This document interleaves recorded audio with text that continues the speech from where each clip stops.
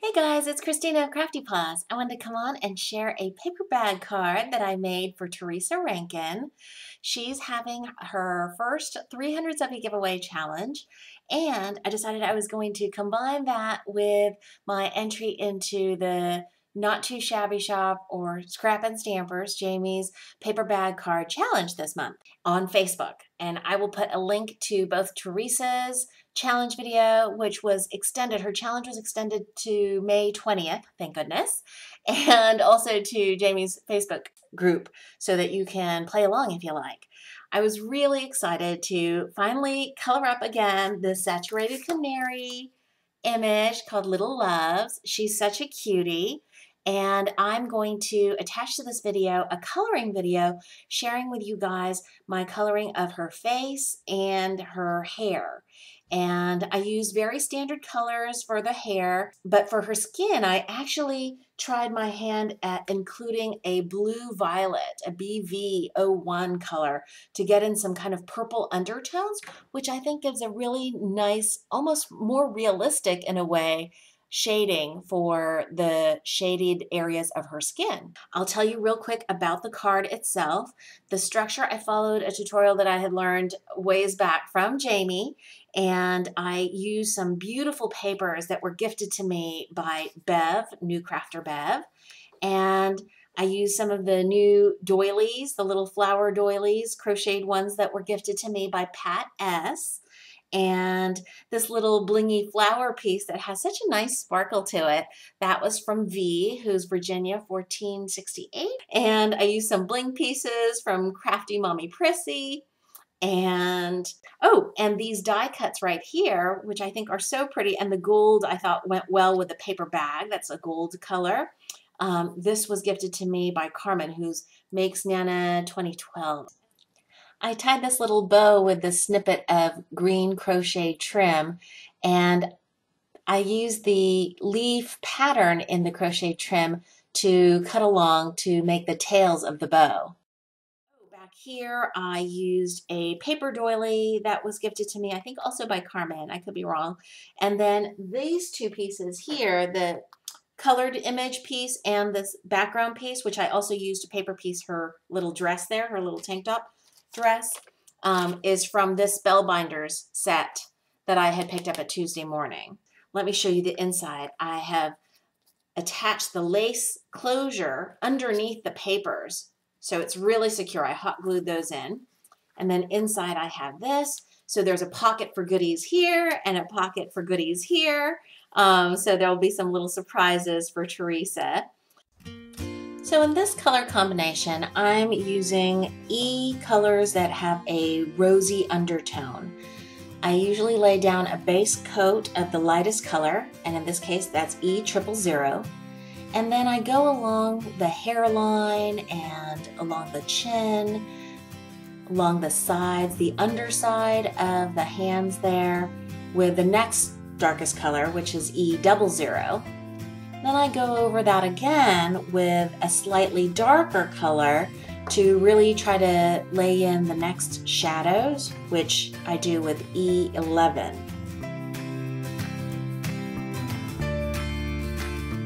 I figure the light source is kind of in front of this little girl and from the top, so that's why I'm picking the underside of her hands and arms and along the edges by her hair for the darker shades.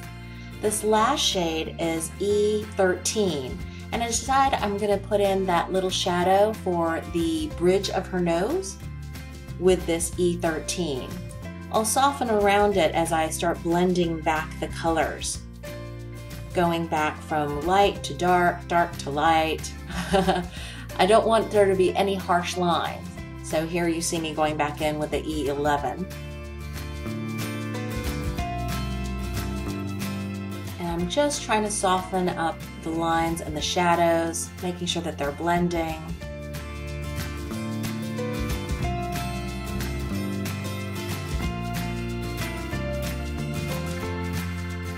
And that is with E double zero. And you can see that because I'm laying down another layer of color, even though it's a light color, more particles of ink are being set down, so her skin color is getting darker even with a light shade. And you'll see this again as I go over everything with E triple zero in a second. Even though again, that color is super pale, it's called pale fruit pink. Just laying down the extra layer of color will make even the palest areas a little bit darker. So if you ever want something to be totally highlighted, you want to avoid laying down any color, even a base color. Here I'm adding the BV01 and this purple undertone you would think would look really unnatural, but in fact that blue violet color adds an even more natural look to her skin. I do go back over that BV01 with E triple zero and E double zero right over top so that the skin color, the kind of peachier color, is the most visible, the last layer added on top there. And I think next you're gonna see me lay down one last layer of E triple zero, yeah. And you'll see that even though it's a really pale shade, just laying down that extra layer of particles brings the color of her skin tone a little bit darker. For her blush, I'm using R20, which is a little bit pinker, darker than my normal R30 for yellow undertone skin. I wanted to give her dark kind of ruby red lips, so I used R85 and R89. I wanted to show you a quick comparison of different skin color combinations. The little fairy on the left has a yellow undertone, while the little girl has a rosier, kind of darker undertone. This hair color combination is pretty typical. It's E55 for the lightest, to E57 to a mid-range, and an E59 for the darkest brown. And I always start by laying in the lightest color where I think the light would be hitting the most, kind of the bumps of the hair, the highlights, the high points of the hair. And I do usually leave an area of the paper just exposed. So you'll see white areas that I leave just to accentuate the white light hitting her hair.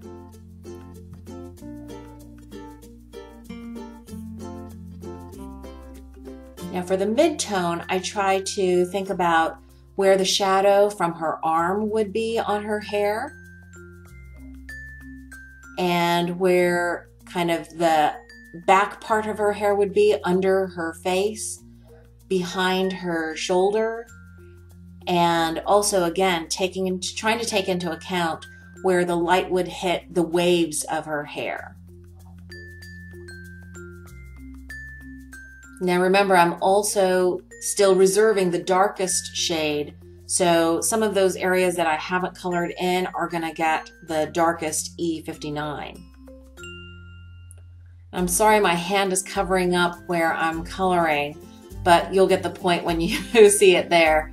The darkest shades, again, I'm going over uh, with the E57 and then later on with the E59. And where her hair is bunched together, where it's tighter, like right there, you'll see the darker colors versus where the hair is kind of bumped out, where you'll see the lightest colors. And I just try to keep the strokes very light and on the tips. And you'll notice also that I take the cap off of both ends of my markers because I don't want accidentally there to be globs of ink coming out and I find that the pens equalize, the pressure seems to equalize better when I keep the pen caps off of both sides when I'm coloring.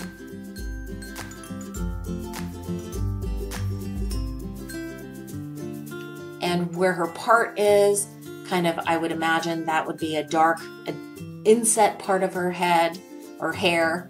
So you'll see that the darker colors are going to go in those inset areas.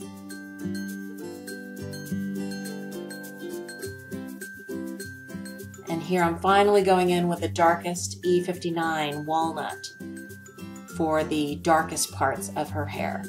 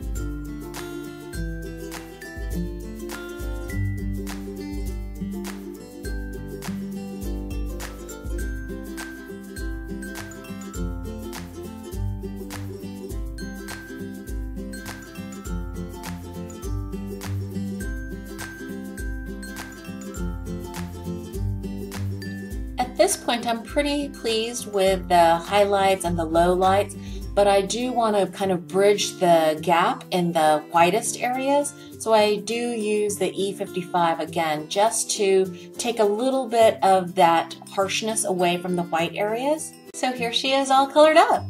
I really like how this came out. I haven't done a paper bag card in a long time. So this was fun to do again. Thank you, Jamie, for inspiring that. And thank you, Teresa, for a wonderful challenge. I hope you like this and that you'll keep it on your shelf along with your other crafty decorations. Thanks for watching, everybody.